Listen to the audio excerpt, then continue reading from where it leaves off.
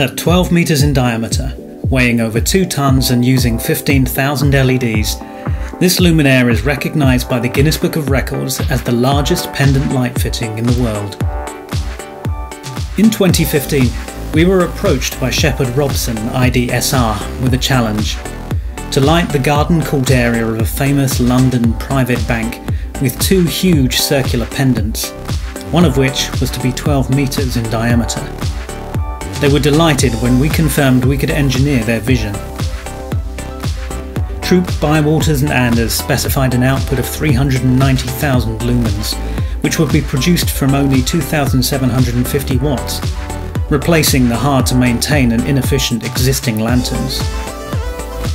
The irregular herringbone structure of the beams from which the fittings would be suspended meant that suspension points could not be in the ideal location. As a result, an extremely robust and rigid aluminium space frame design, akin to an aircraft fuselage, was created.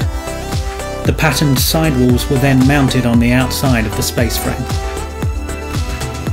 The graphic motif on the luminaire is a bespoke design from the architect and is used throughout the space, on the bronze finish wall panels and glazing as well as on the lighting rings. Access to site was tight, which meant the pendants needed to be supplied in sections, a total of 30 of which made up the larger of the two lights. A full-size mock-up of one of the sections was created and displayed at our Unigem factory. Analysed for light distribution, weight, finish and construction methods by the client design team. Our manufacturing team constructed the entire 12 metre ring at our factory to ensure correct alignment and fitting of all the parts. At this stage we decided to produce bespoke alignment tools to make installation on site easier, bearing in mind that this would take place on top of an 11 metre high scaffolding platform. It took two days to bring the sections into the building, winch them onto the scaffolding and bolt them together, overseen by our same engineers who had built the fitting originally. The enormous weight is suspended on 12mm thick wires, designed in conjunction with ERS, each cable is fixed using a special shock bolt containing a pink dye which explodes outward to indicate if too much load is put on any one suspension point.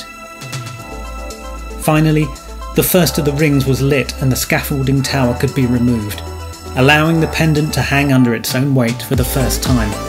A tense moment. When revealed, it became clear that something remarkable had been achieved. A warm, comforting light in the space, but more than that, an installation of breathtaking scale.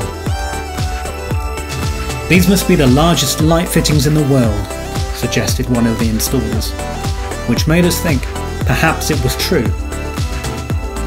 After measurement on site, certification was given by the Guinness Book of Records for the largest hanging lamp, measuring 12.1 metres in diameter as measured on the 22nd of March 2017.